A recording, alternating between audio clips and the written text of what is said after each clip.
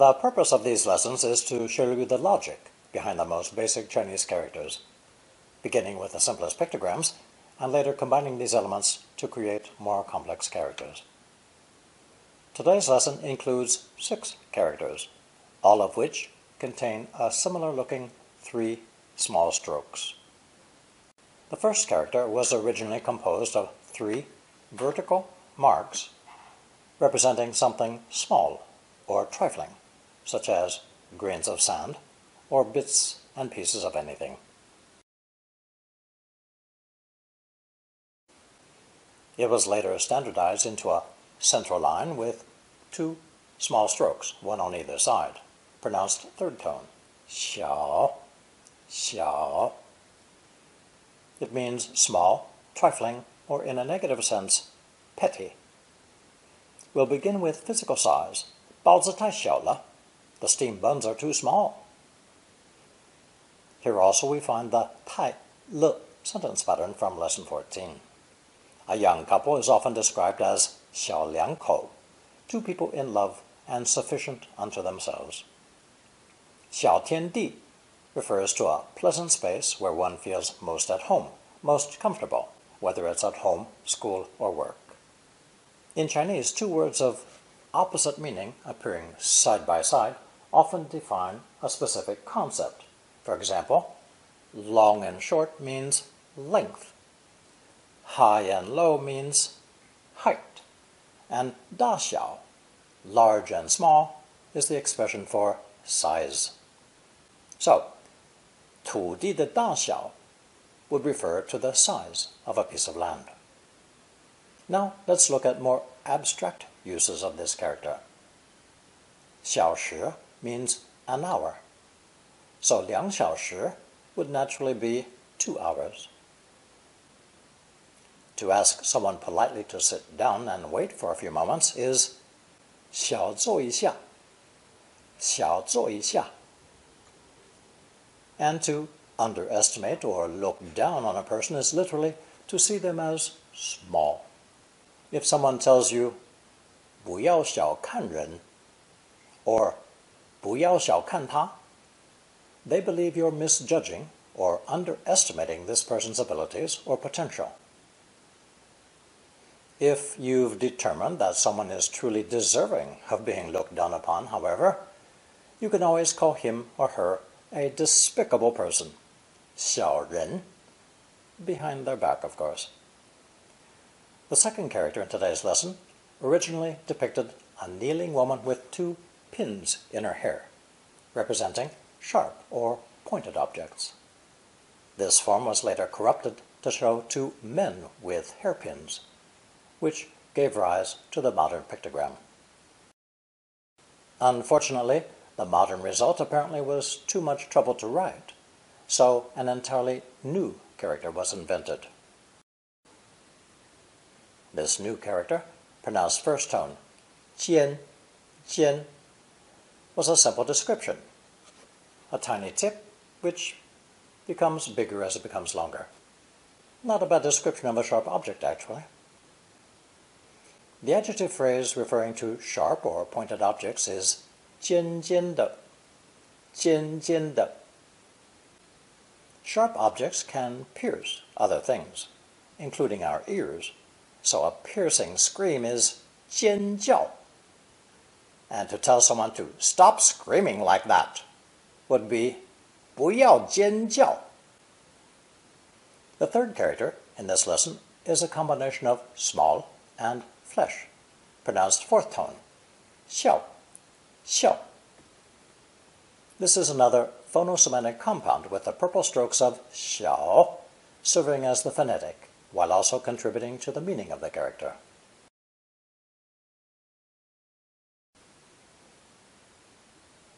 This compound character itself will also reappear later as a phonetic in quite a few characters.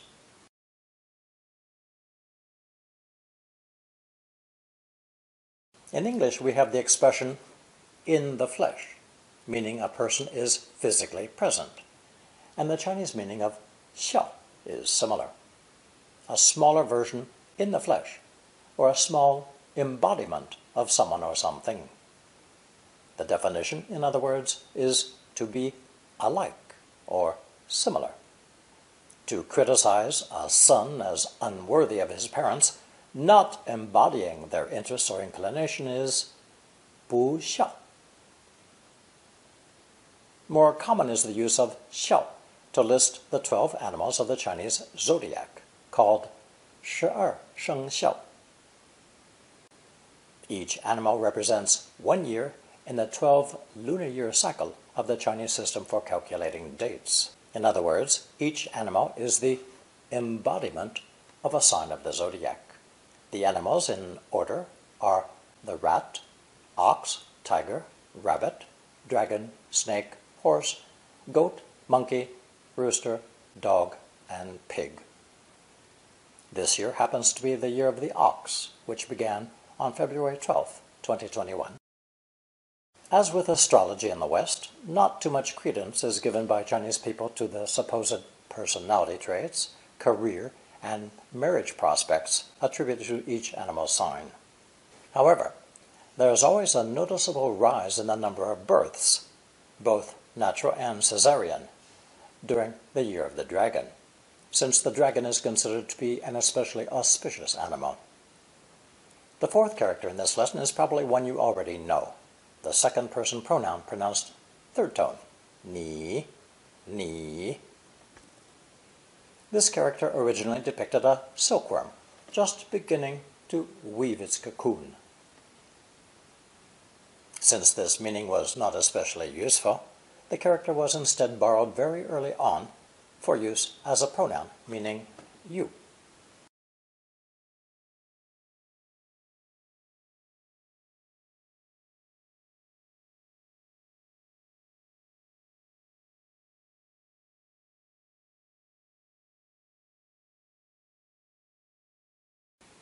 On the right is the traditional character, which, unsimplified and minus the person radical, is still used in some expressions. It's a character in its own right, and no longer refers to the second person at all, or to silkworms in their cocoons either, for that matter. Keep in mind that this character, ni, will take the person radical for men and boys, or the female radical for women and girls. As with ta, the pronunciation doesn't change. During or after the time of the May Fourth Movement of 1919, Chinese scholars repurposed rare or obsolete characters to designate female gender, but seem to have gotten carried away, since few Western languages even bother to make a distinction between male and female second person pronouns. Our first example is plural you, ni men, referring to women and girls.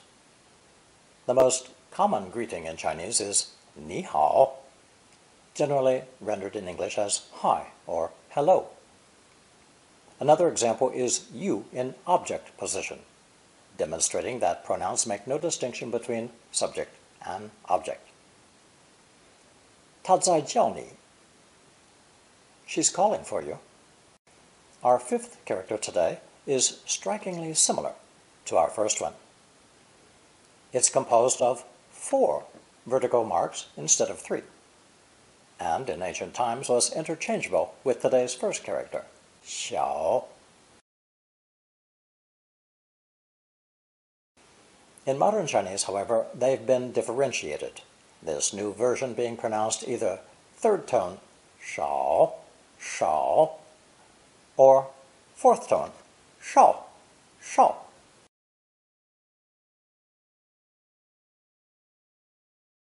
making it a split sound character and a phonosemantic compound.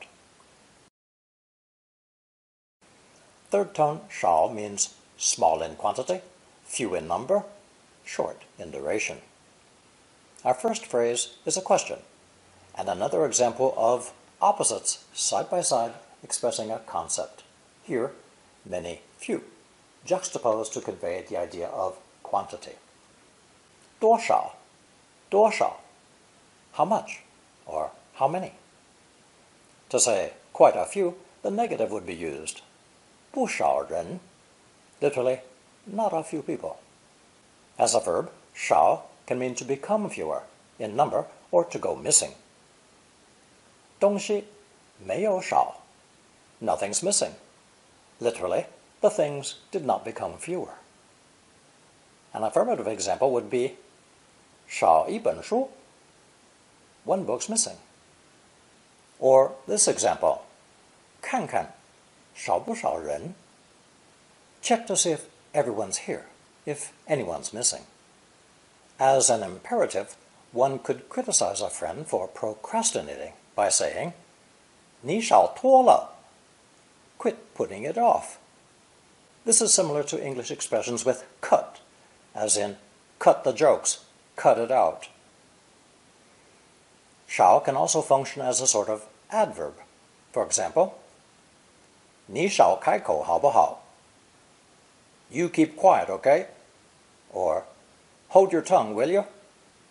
Another example would be 他是少有的人才. he is a rare talent. Shaoyou means rare or scarce, literally, to have or be few in number. Fourth tone, shao, appears less frequently in conversation unless you're talking about youth or young people in general. An example would be Shaonu, a young girl. Our sixth and final character is a pictogram of a thatched hut pronounced second tone, yu, yu.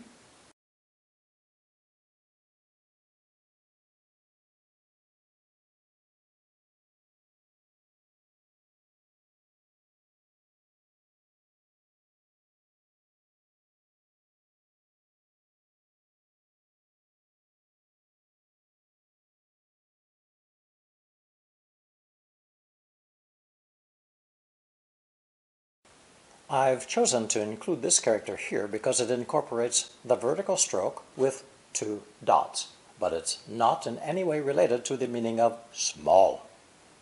Aside from being a Chinese surname, as in Yu Tai Tai, Mrs. Yu, this character is limited in use. The original meaning of hut has long been obsolete, but this component will reappear in future lessons as the phonetic element for other, more important characters. Here is our color chart with today's six characters. Xiao, Jian, Xiao, Yu, Ni, and Shao.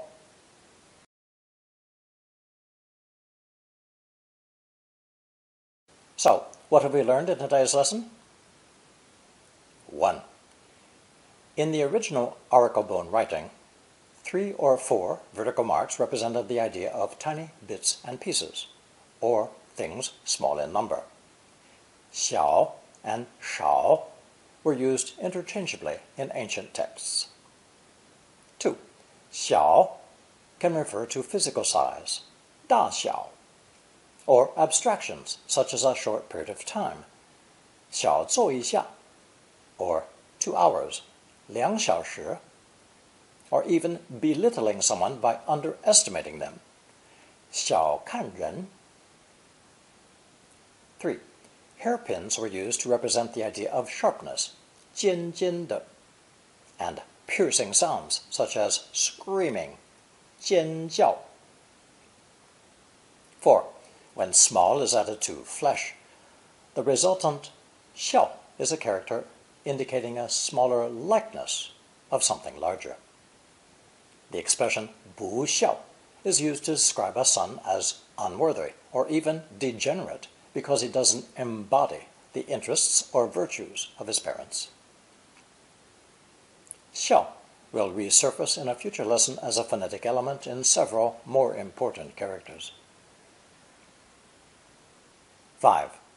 The Chinese zodiac consists of 12 animals embodying specific characteristics, each animal representing one year of a repeating 12-year cycle.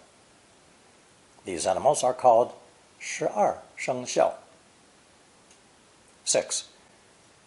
Chinese may say they're not at all superstitious, but many parents make a special effort to conceive and bear a child during a year of the dragon. The dragon is a particularly auspicious animal in Chinese lore. 7. The character for second person you, ni, was originally a silkworm spinning its cocoon. Since the silkworm in a cocoon was hardly a productive usage, the character was borrowed to express second person and other ideas. Remember that you in Mandarin has both male and female versions in writing. 8. Third tone, shao, can be an adjective, as in 不少人, quite a few people, or a verb, as in 书少了一本, one book's missing, or even an imperative similar to cut it out in English. For example, 少拖了, stop procrastinating. 9. When pronounced fourth tone, 少 is restricted to describing youth, as in 少女, or a person of lesser rank within a group. 10. The pictogram of a thatched hut is the origin of the character pronounced yu. In modern Chinese, this character is used almost exclusively as a surname, Yu Furen, Madame Yu. However, it will show up in future lessons as a phonetic element. Now you will find a short quiz on double, triple character, and longer expressions. Answer using only the characters learned so far.